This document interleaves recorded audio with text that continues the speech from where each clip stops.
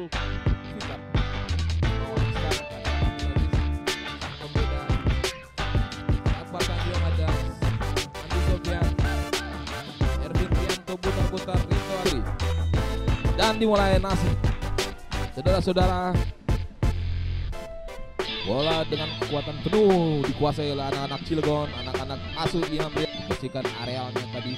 Masih tekanan tadi. Shooting langsung saudara-saudara. Susanto. Tekanan tekanan tekanan terus tekan sebuah shooting langsung dan lemah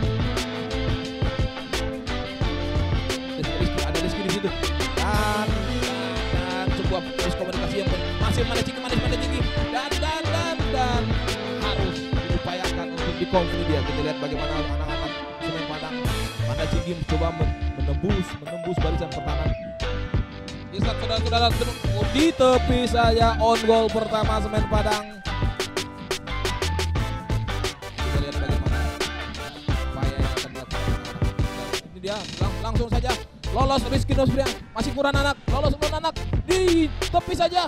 Dan tendang langsung. Ah ternyata gagal kesempatan yang seharusnya bisa dikonversikan ini dia detik-detik yang menegangkan lini pertahanan Soligon Afriansat tendang langsung tapi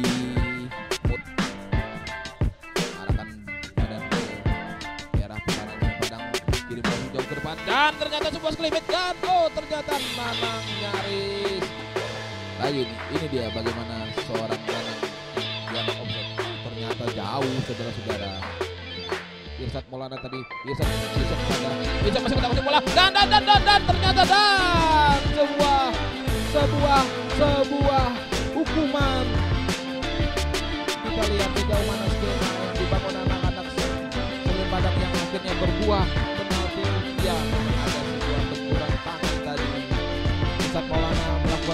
penalti dan kita saksikan sejauh mana keberhasilan. Dan ternyata masuk saudara-saudara. Irsat membayar lunas. Kegagalannya sebelumnya.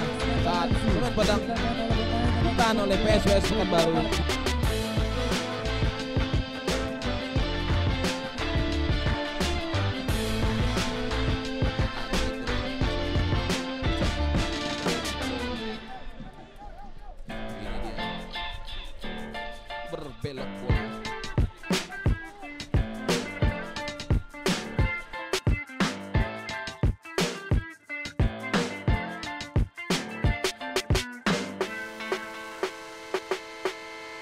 Manda Cingi Manda Cingi lakukan tendangan kirim bola jauh ke depan. Dan sebuah heading dari Irsat Maulana hanya melambung sementara di belakang coba melewati hadangan para pemain Manda Cingi untuk ketik bola masih untuk bola dan ternyata astaga kerjasama yang baik Manda Cingi Irsat. Tidak tepat. Ini kita lihat tidak offset lepas. Offside ternyata. Manda Cingi kirim bola langsung ke depan. Dituju adalah seorang Rizky Rizky menguasai bola.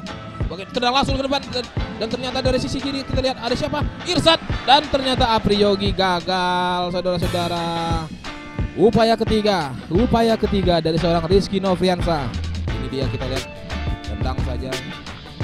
Dua keputusan yang harus diambil karena ia dihadang oleh dua pemain sekaligus. Sukses. Rafi Ikhwanuddin tadi sedikit, sedikit saja pada Elton Maran kerjasama Elton Maran dengan so dan ternyata tendangan Manda Cingi bebas Putri bebas kerjasama yang baik. Manda Cingi Manda Cingi menggandakan keunggulan Semen Padang. Saudara-saudara.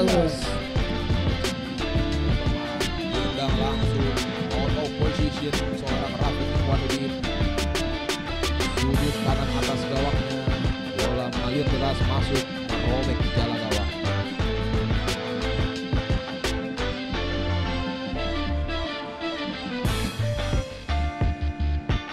lagi oleh Ahmad Bahtiar. Bola di sini dan ini dia ini dia Irsat Maulana. Kesempatan Irsat Maulana. Uh, salah komunikasi di pertahanan. Cilegon berbuah gol untuk Semen Padang.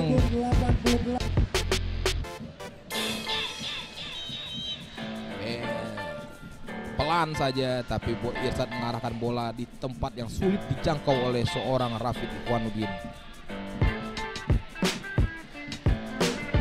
Menekuk kepala Rafid, Anang Asbin coba mengelewati hadangan seorang ini dia, ini dia Rita. Wow, sebuah tendangan spekulasi luar kotak penalti. Berbuah gol untuk Cilegon United di menit 91. Bagaimana seorang Are tadi, Ares Hendy pemain pengganti umpan pada Arai dijawab dengan sebuah tendangan dan berakhir sudah pertandingan antara tuan rumah Semen Padang FC dengan Cilegon United yang berkesudahan dengan skor 3-1 untuk keunggulan tuan rumah Semen Padang. Terima kasih.